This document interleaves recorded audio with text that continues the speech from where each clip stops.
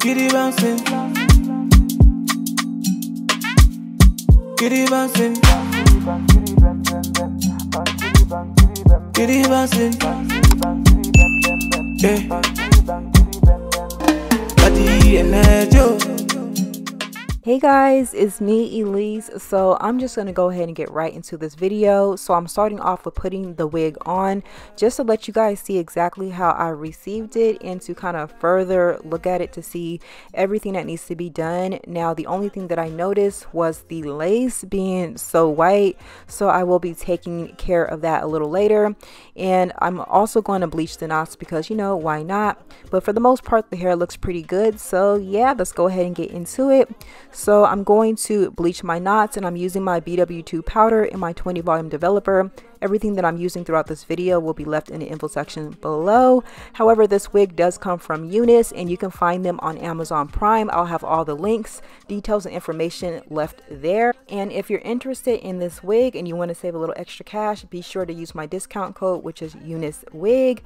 So the wig that I have is their Wear and Go Glueless Pre-Cut Lace Wig. It's in that deep curly texture and my wig has the 6 by 4.5 inch high definition lace. My wig is also 16 inches long, 150% density. It has that new breathable cap so therefore if you're wearing this wig during the summertime you don't have to worry about overheating or being too hot.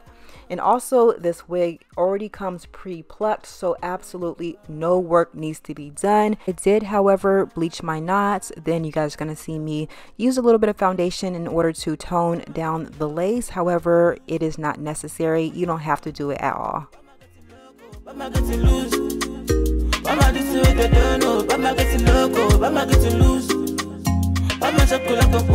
So as I'm letting the wig dry, I just kind of like to get like a little early start into kind of styling it just to where when I do put the wig on, it just kind of comes together immediately. No work needs to be done then. I'm just right out the door. You guys don't pay too much attention where I over bleached my knots. I'm going to show you guys a little later on how I'm able to quickly fix that. Super easy. No need to worry or anything like that. Um, but for the most part, I am just styling up this wig. I don't have to tweeze it or pluck it or anything like that. You guys notice that beautiful pre-plucked hairline. I just applied a little bit of my wrapping hair mousse and now I'm just going to pull out some baby hairs and I'm going to make that a little later on. But in order to make the hairline look really nice and laid, I'm just going to use the provided elastic band to just kind of lay that up. Now I'm just using a little bit of water in my wet and wavy styling cream just to kind of redefine those curls to make them look real nice and juicy and make sure that they're nicely popping.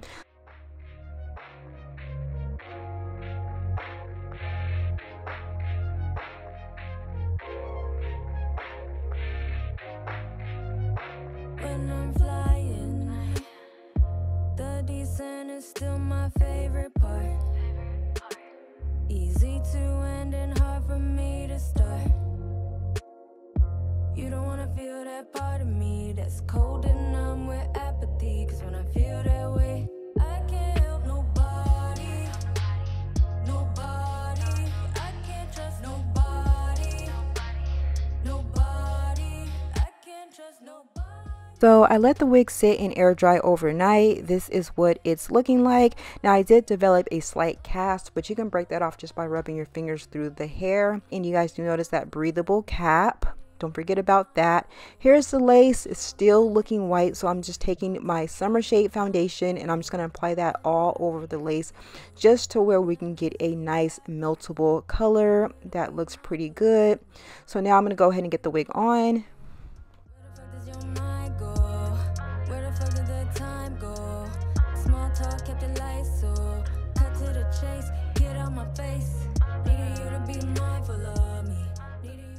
So if you over bleached your knots or some of your bleach transferred onto your hair like mine did, what you want to do is get you some of this Kiss hair concealer and just apply it on the areas where you've made your mistake you notice that this stuff is really thick and so it kind of coats the hair and it makes it look as good as new so there's really no need to panic or worry. I just went ahead and I took care of that. Now I'm using some of my MAC mineralized skin finish powder in the shade dark and I'm just going to go ahead and apply that to the parting space kind of let that area pop a bit. Now I'm just going to go ahead and make me some baby hairs optimistic that I can turn it all round, round, round. Baby, if you felt my pain,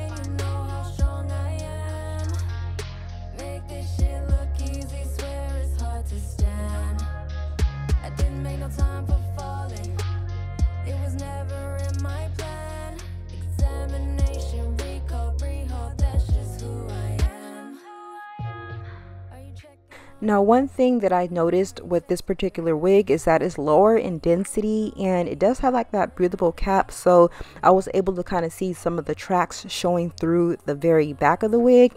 So what you're going to do is use like a wide tooth comb or your fingertips and you're going to create some volume by kind of breaking apart some of those curls. And you notice how thick and full the wig looks now.